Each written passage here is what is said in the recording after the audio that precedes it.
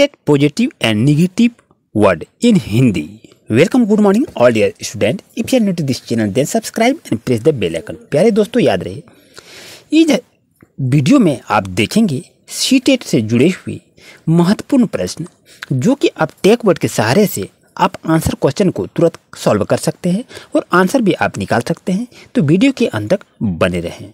प्यारे दोस्तों आप अपना कॉपी कलम को खोलें और अच्छी तरह से नोट करें। वीडियो को देखने से आप उतना सीखेंगे नहीं जितना आप नोट्स को तैयार करेंगे। तो आपका सीटेट का एग्ज़ाम काफ़ी नज़दीक आ चुकी है। अब हमें क्या करना है? पढ़ने का तो समय ख़त्म हो चुका है और अब हम पढ़ाई नहीं कर पाएँगे और नहीं पढ़ाई कर पाने के कारण में आपके पचहत्तर नंबर छूट जाएँगे। तो पचहत्तर नंबर इस वीडियो से आपको मिलने वाले हैं। तो कैसे मिलेगा? आइए हम क्लास की शुरुआत करते हैं। अच्छी तरह से देखें। वीडियो को एक बार शेयर ज़रूर कर दें, ताकि दूसरे दोस्तों को भी इसे मालूम हो जाए कि आखिर हम सीटेट में कैसे ही नंबर को प्राप्त कर पाएँगे बिना पढ़े हुए। तो फ़र्स्ट, टेक वर्ड को देख रहे हैं, बाल केंद्रित शिक्षा। यानी ये बाल केंद्रित शिक्षा जो है, अगर आप ईवीएस का क्वेश्चन देखेंगे तो उसमें भी काम आएगा। अगर आप मैथ का भी क्वेश्चन को देखेंगे, उसमें भी ये बाल केंद्रित आएगा। अगर आप हिंदी का भी एग्ज़ाम लिख रहे हैं तो उसमें भी काम आएगा। और यहाँ से देखें ईवीएस में तो ये काम आ गया, इसमें भी आ गया, इसमें आ गया। और इंग्लिश का भी जो देख रहे हैं, उसमें भी आपका काम आएगा। तो बाल केंद्रित शिक्षा, चाइल्ड सेंटर्ड लैंग्वेज, जहाँ भी रहे तो वो आपका टेक वर्ड सही रहता है। इसे आप याद रखें। देखिए, अब मैथ में यदि आपका बाल केंद्रित आ गया तो ये भी आंसर आपका सही हो गया। अगर आपका ई में आ गया तो ये भी टेक वर्ड को आपको लगा देंगे। और अगर दूसरे सब्जेक्ट में भी आ रहा है तो उसमें भी आर लगा देंगे। और सीडीपी में यदि आ रहा है तो उसको भी लगा देंगे। तो ये आंसर आपके लिए सही हो जाएगा। प्यारे दोस्तों, याद रहे, इस तरह से आप अपना टेक वर्ड को यूज़ करेंगे। तो यहाँ देखिए, यदि आप बाल केंद्रित शिक्षा को देखते हैं तो आपके पास मैथ का जो एग्ज़ाम होगा, एक नंबर यहाँ से मिलेगा। ईवीएस का नंबर है पेपर देने तो उससे भी आपको आएगा। उसके बाद देखा जाए इंग्लिश का दे रहे हैं तो इंग्लिश में भी ये बाल केंद्रित शिक्षक आएगा तो वो भी आप दे सकते हैं। तो उसके बाद आप देखेंगे हिंदी में आ गया। तो हिंदी से भी आप क्वेश्चन को देख सकते हैं। तो इस तरह से अगर देखा जाए तो यहाँ देखिए एक, दो, तीन, चार नंबर का आप बाल केंद्रित शिक्षा को जिस भी ऑप्शन में आपका रहेगा, अगर वो ऑप्शन में सही करते हैं तो आपको एक नंबर प्राप्त हो जाएगा। अब चलते हैं आंतरिक प्रेरणा। जिस भी ऑप्शन में आपको आंतरिक प्रेरणा दिखाई दे तो वो आपका पॉजिटिव टेकवा होता है, वो आपका आंसर आपके लिए सही रहता है। उसके बाद है करके सीखना। प्यारे दोस्तों, याद रहे क्वेश्चन कोई भी लंबा चौड़ा रहे, उससे आपको कोई मतलब नहीं है। लेकिन सवाल है कि ऑप्शन ऑप्शन में यदि आपके पास करके सीखना रहे तो वो ऑप्शन आपके लिए 100 परसेंट सही रहता है। उसे आँख कनमुन के आप उसे लगा देंगे, चाहे आप ई का एग्ज़ाम लिख रहे हैं, या आप मैथ का लिख रहे हैं, या आप हिंदी का लिख रहे हैं, या आप दूसरे सब्जेक्ट का लिख रहे हैं, या संस्कृत का लिख रहे हैं। तो इस तरह चीज़ को आप देखकर आप अपना आंसर को बिना पढ़े हुए एक सप्ताह भी नहीं है समय, तीन दिन के अंदर आप पचहत्तर नंबर को प्राप्त कर सकते हैं। और बाकी नंबर जो जितने हैं, एक सीडीपी का क्वेश्चन पंद्रह नंबर का रहता है। आपको बता दें कि एक सब्जेक्ट में पंद्रह नंबर का सीडीपी रहता है और पंद्रह नंबर का थ्योरी रहता है। कुल मिला के तीस नंबर को रहा पूछा जाता है। तो पंद्रह नंबर इसी टेकवर्ड से क्वेश्चन को पूछे जाते हैं, जो आप जल्दी से अभी याद कर लें। अब चलते दूसरा टेकवर्ड अंत क्रिया जिस भी ऑप्शन में आपको अंत क्रिया दिखाई दे, उस ऑप्शन को आँख कर मुन के आप उसको सही कर दीजिएगा। कोई दिक्कत नहीं है, वो हंड्रेड परसेंट सही रहेगा। अगर रहे विविधता तो अगर विविधता की बात अगर किया जाए तो अगर ऑप्शन में विविधता हो तो उस ऑप्शन को भी आप पॉजिटिव मानेंगे। इस चीज़ को याद रखिएगा। अब चलते हैं दूसरा टेक वर्ड पर, समावेशी शिक्षा। समावेशी शिक्षा में क्या होता है कि एक दूसरे बच्चे आपस में मिलकर पढ़ते हैं, चाहे वो किसी जाति, धर्म से हो, उससे मतलब नहीं है, चाहे गरीब हो, चाहे अमीर हो। तो वो दोनों को क्या करते हैं? इंक्लूजिंग एजुकेशन के साथ उसको जोड़ देते हैं। तो वो क्या होता है? समावेशी शिक्षा होता है। तो इस तरह से अगर टेक वर्ड आपको दिखाई दे तो समावेशी शिक्षा अगर रहे तो उस ऑप्शन को आप सही कीजिएगा। जितने भी टेक वर्ड देख रहे हैं, प्यारे दोस्तों, याद रहे एग्ज़ाम दे के आइएगा, उसके बाद कहिएगा कि आपका कितना अंक इससे प्राप्त हुआ। हंड्रेड परसेंट नंबर इससे आपको प्राप्त होगा, ये एकदम गारंटी के साथ कह रहे हैं। अब ये देखते हैं सतत और व्यापक मूल्यांकन। ये तो टेगवर्ड को अभी याद याद कर लीजिए और इससे आपका एक नंबर नहीं, पाँच नंबर आपको कन्फर्म होने वाला है। इस चीज़ को आप याद रखें। सतत और व्यापक मूल्यांकन, जिस भी ऑप्शन में रहता है, वो ऑप्शन आपके लिए सही रहता है। इसे ज़रूर याद रखें। अब बात करते हैं अधिगम के लिए आकलन। बच्चे क्या करते हैं? सीखने के लिए आकलन करते हैं। इस चीज़ को याद रखिए, ये आपके पॉजिटिव टेकवर्ड के रूप में आते हैं। तो अधिगम जब भी बच्चे करते हैं, अपने लर्निंग के लिए, अपनी एक्टिविटी के लिए, अपनी डेली रूटीन के लिए वो अधिगम करते हैं और अधिगम करने वाले बच्चे ही सीखते हैं। तो वो करके सीख रहे हैं। तो इसलिए आपका ऑप्शन नंबर ये अधिगम के लिए आकलन, ये आपका सही रहेगा। पूर्व ज्ञान। बच्चे को जो है, बच्चे कोरा कागज़ नहीं होते हैं, वो पूर्व ज्ञान उसके साथ एडॉप रहता है। अगर आपके ऑप्शन में पूर्व ज्ञान भी रहे तो वो ऑप्शन आपके लिए सही रहेगा। ये सभी आप टेक वर्ड को देख रहे हैं दोस्तों। अगर त्रुटियाँ रहे, अगर बच्चे त्रुटियाँ कर रहे हैं तो वो आपका टेक वर्ड सही रहता है। इसको याद रखिए वो आंसर भी आपके लिए सही रहता है। अगर त्रुटियाँ यहाँ पर है, आप कहेंगे ये ऑप्शन गलत है। नहीं, ये ऑप्शन आपके लिए सही रहेगा, क्योंकि जब तक बच्चे गलती नहीं करेंगे तो बच्चे सीख ही नहीं पाएँगे।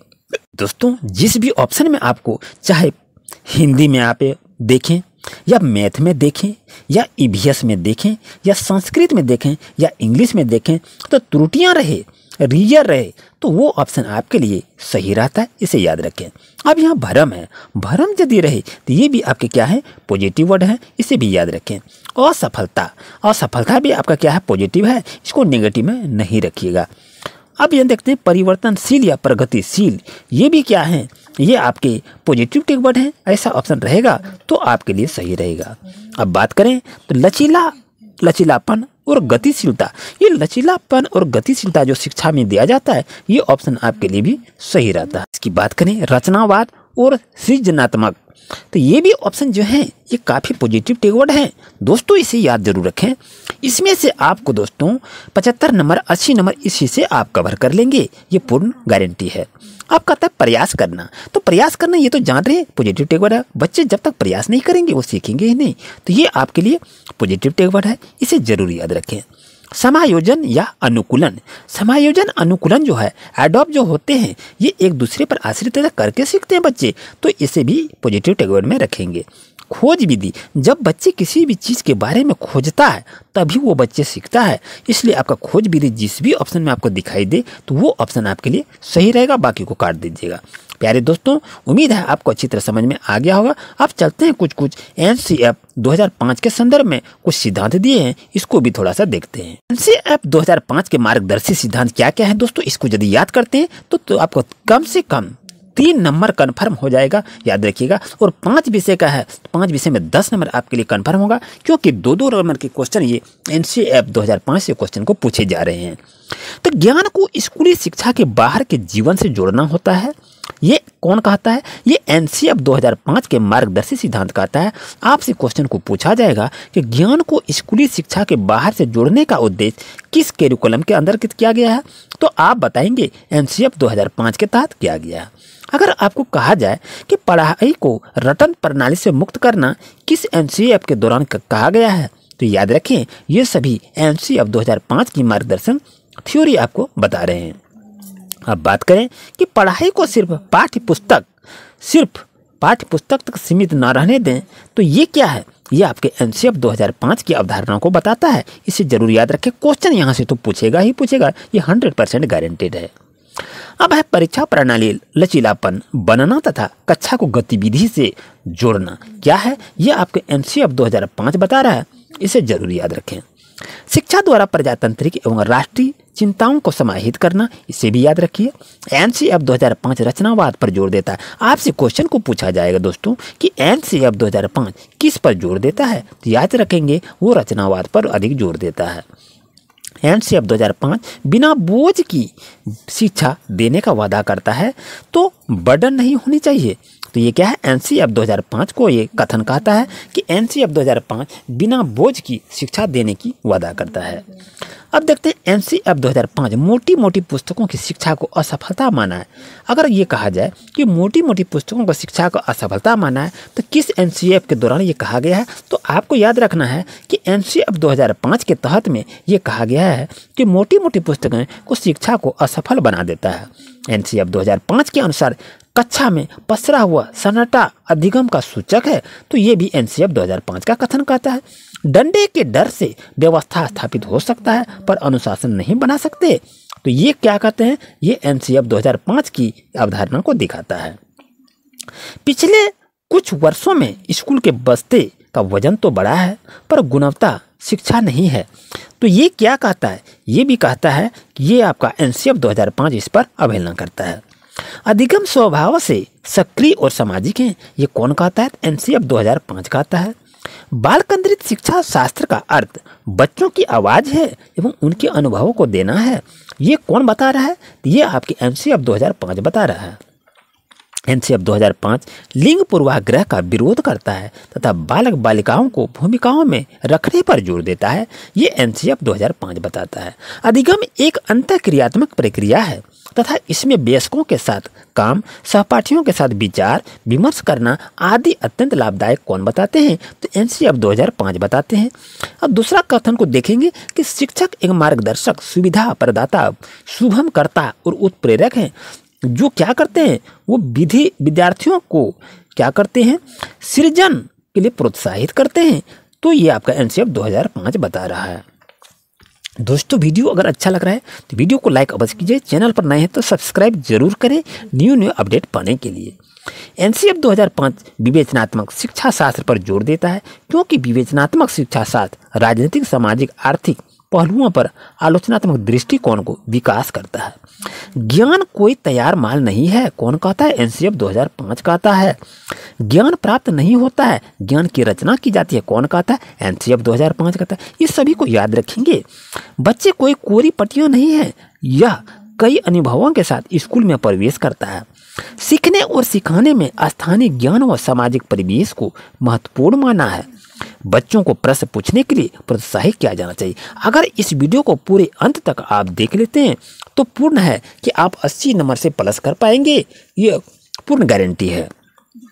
आप कहता है कि एनसीएफ 2005 में चार क्षेत्रों में विशेष ध्यान आकर्षित किया जाना, कला शिक्षा, कार्य शिक्षा, स्वास्थ्य एवं शारीरिक शिक्षा तथा अति शिक्षा एनसीएफ 2005 के दस्तावेजों में भाषा के लिए द्विभाषिकता का, बहुभाषिकता का समर्थन करता है। बच्चे स्कूल जीवन की शुरुआत के पहले से भाषा की जटिलता और नियमों को आत्मसात करने की क्षमता को रखता है। दोस्तों, पहले पढ़े सीटेड पॉजिटिव टेगवर्ड से, अब देखते हैं पॉजिटिव टेगवर्ड नहीं अब निगेटिव टेगवर्ड को देखते हैं कि आखिर कौन कौन से निगेटिव टेगवर्ड हैं, जो इसको देखने के बाद ही आंसर गलत होता है। अगर मानवीयकृत परीक्षण रहे दोस्तों तो याद रहे वो आपका नेगेटिव होता है, वो आंसर आपके लिए नहीं होगा। अगर वेतन और अभ्यास की बात रहे तो वो भी आंसर आपके लिए गलत होता है, इसे याद रखें। व्यक्तिक भिन्नता में समानता, ये भी आपका निगेटिव टेगवर्ड है, ये गलत रहता है आंसर इसको याद रखेंगे। अब है बाह्य प्रेरणा, यानी बाहरी प्रेरणा से जुड़ना, ये नहीं है। लेकिन अगर ऐसा टेगवर्ड रहे, ये भी आपके निगेटिव टेगवर्ड हैं। लालच, अगर बच्चे को लालच देकर पढ़ाते हैं तो वो आपका नेगेटिव टेगवर्ड है।